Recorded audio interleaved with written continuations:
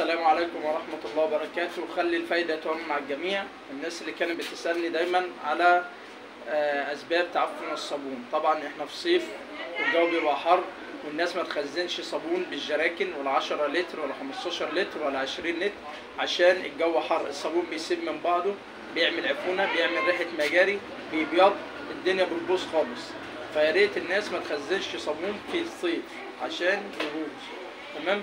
طيب دلوقتي الناس اللي بتقول لي طب الصابون لما يعمل ريحة مجاري أعمل له إيه؟ حل بسيط جدا وسهل.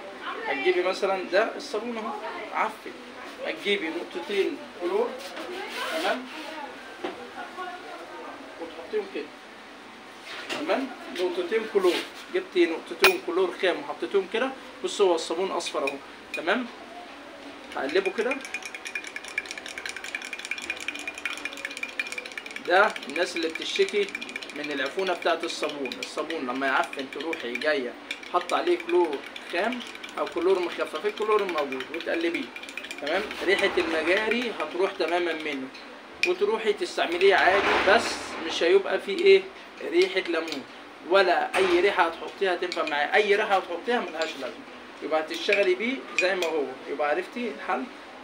تجيبي كلور وتحطيه على الصابون. أي حد الصابون يقلب معاه أبيض أو ريحة مجاري يحط له كلور.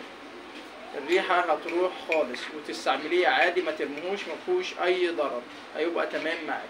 وشكرا.